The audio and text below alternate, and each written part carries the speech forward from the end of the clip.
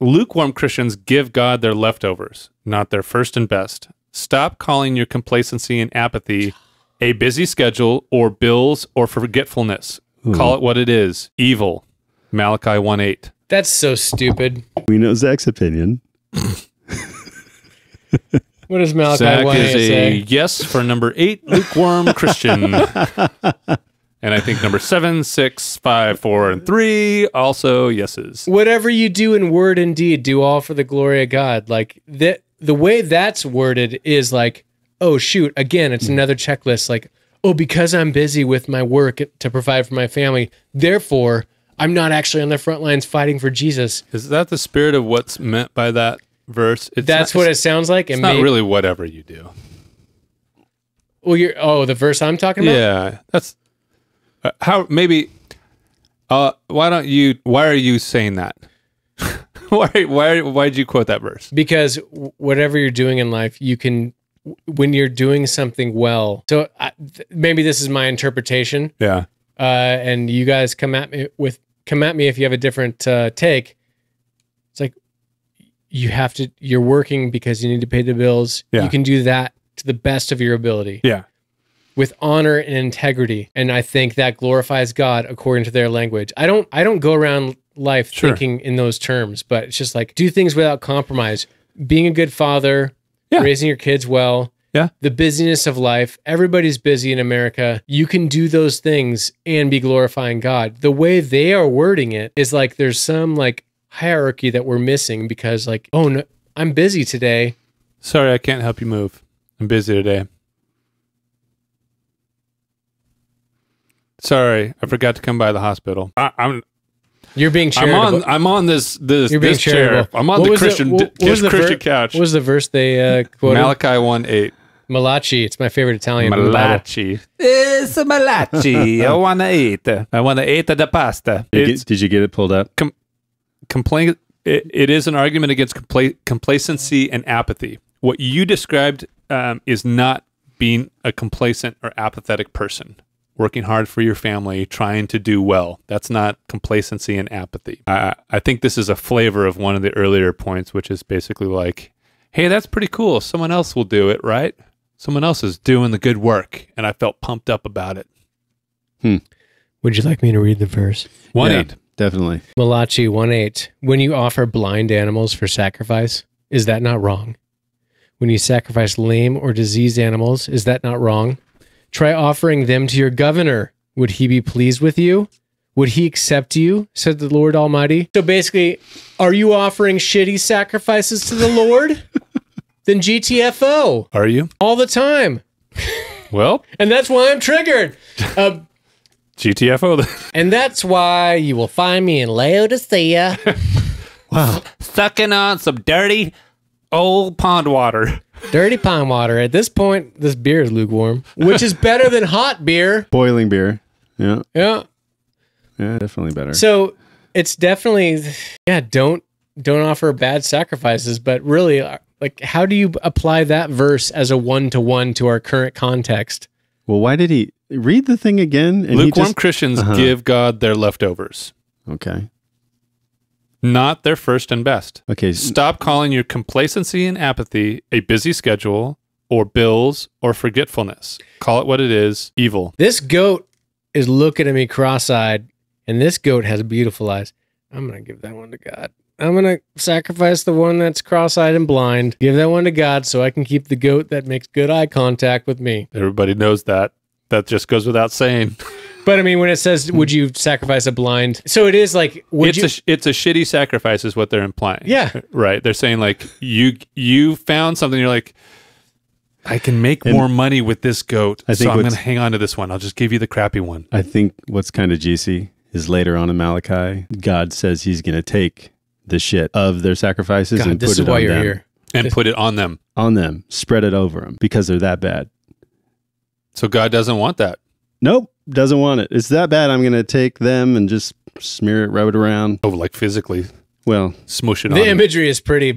it's pretty clear. I'm glad Yeah. you said that. It's really Yeah. Uh, but yeah, So Sidetrack. translate this to us. We don't have goats, do we? I don't have any goats. but the my way wife that- would love to have some goats. By the way, The way if I could, if I she could thinks get mini mini, goats and mini pigs exist. She thinks those are real things. they're just babies that they They're kill. just be- babies. They kill get- them before they they sacrifice them to God before they grow up. They get big. I kept trying to tell her. She's like, "Let's get a mini pig." I'm like, "No, no, that's not a mini pig. It's just a baby.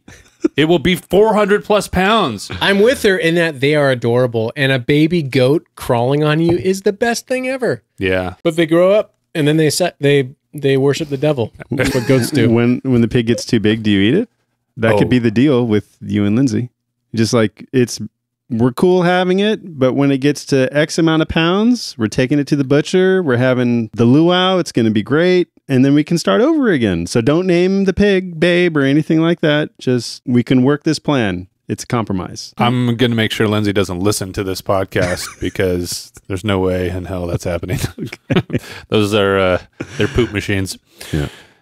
Uh, It, it's just this is the type of language. I'm not putting this on Francis, um, but it's the kind of language that church organizations use to control people. if I'm not a generous person, if I don't give of my time, if I don't do things for others, Usually, it's If I don't give giving a- to the church. if, if I don't give of my time, do you pick the most charitable definition of this. If I just take I don't care, want of, to. if I just take care of me, hmm and I give all these excuses, does that am I an, am I the hot slash super cool wonderful Christian, or am I in lukewarm territory? Yeah, I I'm not going to answer that question. I think that the difficulty of this there's there's a bit of truth in it.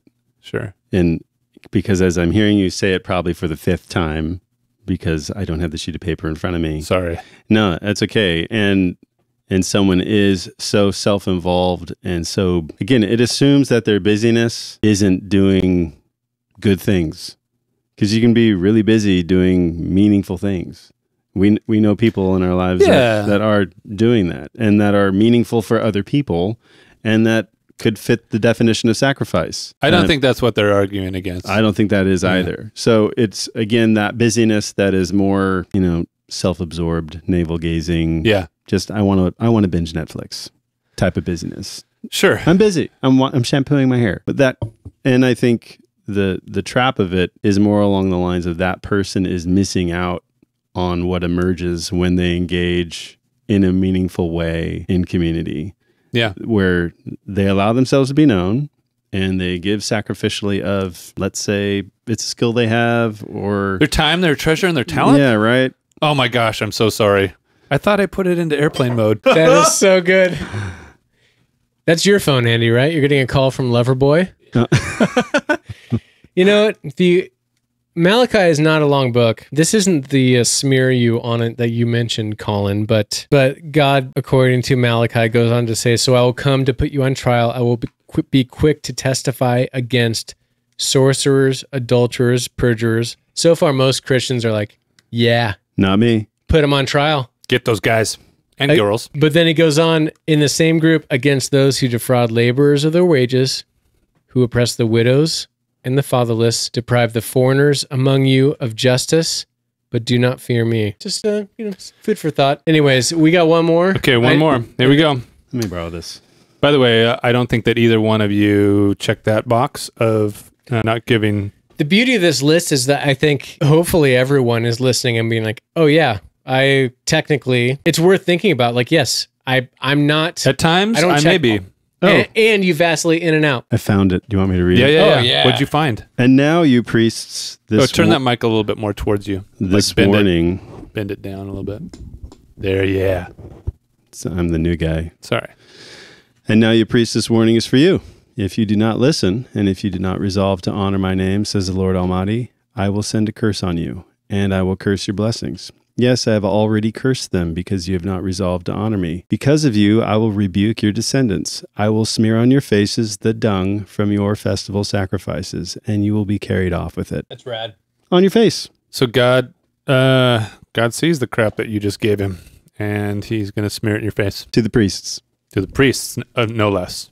To the priests. And that's often the way this goes is the peop- the insiders, the re- the religious elite, the people that belong are the ones that receive the hardest rebukes. The face smearing. Even in the New Testament, it's always the the t- tables were turned not at the people who were sinners, it was the people who thought they weren't. Anyways, keep going. I think the most damning version of number eight, which I just read, Mm-hmm. Is uh, the person who comes to church and functions with the idea that someone else will take care of this, that I'm not needed to contribute to what this community needs to function. Yeah. Someone else will do this. That's that's how I read that one, and I go, did you're missing the point."